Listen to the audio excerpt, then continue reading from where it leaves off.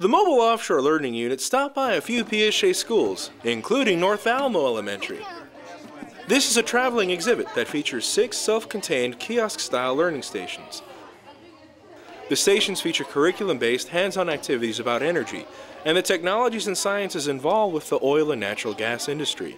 They get to know exactly how much or how they, uh, even like through natural resources, how to better preserve them because it, it is expensive to maintain, and uh, the effects of over uh, over drilling or also the waste and stuff that people like plastics and stuff.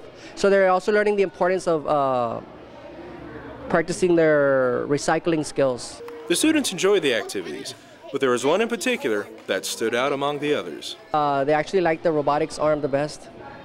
Trying to maneuver that arm to pick up the little balls. They're having a lot of fun with it. Aside from presenting the benefits of petroleum products such as plastics, students also learn the importance of being good stewards of the environment. These students enjoy these hands-on activities, and more importantly, they learn about how oil and natural gas are used to produce everyday products and energy.